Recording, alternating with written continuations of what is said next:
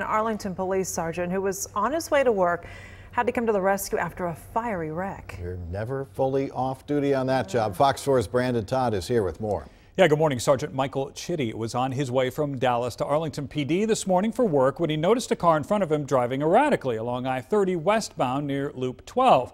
Well, within moments, that car slammed into a minivan. That minivan was flipped over on its side and caught fire. Now, Sergeant Chitty then noticed that the driver of the car started to run away from the crash, but Sergeant Chitty ran toward the burning van and, according to Arlington Police Chief Will Johnson, helped pull four people out of that minivan. All of those people were taken to the hospital. Grand Prairie Police is working this crash. Investigators tell us the injuries to those people are non-life threatening. Meanwhile, we can also tell you the driver who took off running, he has been caught and is in custody.